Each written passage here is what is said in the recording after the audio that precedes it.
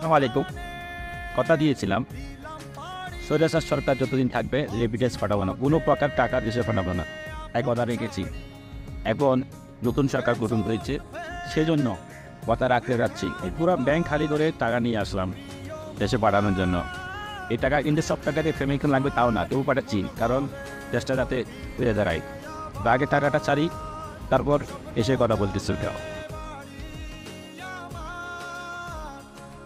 So টাকাটা পাঠিয়ে দিলাম। কালকে তো ব্যাংক বন্ধ থাকবে সাহেব হিসেবে, রোববার দিন টাকাটা পেয়ে যাবে। আসলে ভিডিওটা বাইরে কমপ্লিট করতে পারি নাই, কারণ টাকাগুলো সারতে সারতে একটু সন্ধ্যা হয়ে যায়, বাইরে অনেকটা লাইট চলে যায় সিজনে তো এখন আমি রুমে চলে আসছি, কিছু কথা বলার জন্য, বেশি কিছু না। আসলে আমরা প্রবাসী হিসেবে আমাদের কিছু, এই দাবি রয়েছে। দাবিগুলো হচ্ছে খুবই অল্প, যেগুলো চাইলেই সমাধান করা যায়। সো দাবিগুলো বেশি না। আমাদের দাবিগুলো হচ্ছে যে, আমাদের যে কনসুলেট আছে কনসুলেট সার্ভিসটা আরও উন্নত করতে হবে এখানে অনেক হয়রানি হয়। আমাদের পাসপোর্ট রিনিউ বা কোনো একটা ইস্যুতে গেলে অনেক বড় লম্বা থাকে লাইন থাকে বা লাইট শেষ করে যখন আমরা কাউন্টারে পৌঁছাই, তখন বলতে এই কাজটা আজকে হবে না, আগামী দিন আসো। তো এইগুলা অনেক হয়রানি হয়ে যায় আমাদের জন্য, কারণ আমরা চাকরিজীবী মানুষ। একটা দিন বের করে যখন আমাদেরকে কনসুলেটে যেতে হয় এম্বাসিতে যেতে হয়, সেটা আমাদের জন্য অনেক টাফ হয়ে যায়। তো এই জিনিসগুলো বন্ধ করতে হবে, এই সার্ভিসগুলো আরও উন্নত করতে হবে। আর বিমানবন্দরেও, যেমন ধরেন বাংলাদেশ থেকে আসার সময় আমরা অনেক হয়রানি হই, এই যাওয়ার সময়ও, এখান থেকে যাওয়ার সময়ও, এই লাগেজ নিয়ে বা যেমন ধরেন বাংলাদেশ বিমান, কোনো টাইমিং মেনটেন করে না বলতে গেলে। এদের যখন ইচ্ছে তখন আসে, তখন ইচ্ছে তখন যাই, তখন সাই এমন এমন সময় দেখা গেল যে টাইম দিচ্ছে একটা, তিন ঘন্টায়ও লেট হয়ে যাওয়ার পরেও বিমান ছাড়ার কোনো খবর নেই। যেমন ধরুন লাস্ট টাইম আমি যখন দুবাই থেকে যাচ্ছি, তো চিটং এয়ারপোর্টের মধ্যে। আমার লাগেজ স্ক্যান হয়ে গেছে অলরেডি আমি বেরিয়ে যাচ্ছি, বেরোবার আগে গেট থেকে আমাকে আবার নিয়ে এসে আমার হ্যান্ড লাগেজটা খুলে চেক করতেছে। এটা কোন ধরনের কথা? চেক করছে করছে কিছু পাই নাই। সো শুধু শুধু এগুলো করে কি লাভটা কি? যেমন আমার এই লাগেজটা চেক করার জন্য প্রায় এক থেকে দেড় ঘণ্টা আমার লেট হয়ে গেছে। অথচ আমার বাইরে আমার পুরো ফ্যামিলি অপেক্ষা করতেছে। সো এগুলো অনেক রকমের প্রবলেম আমরা ফেস করি।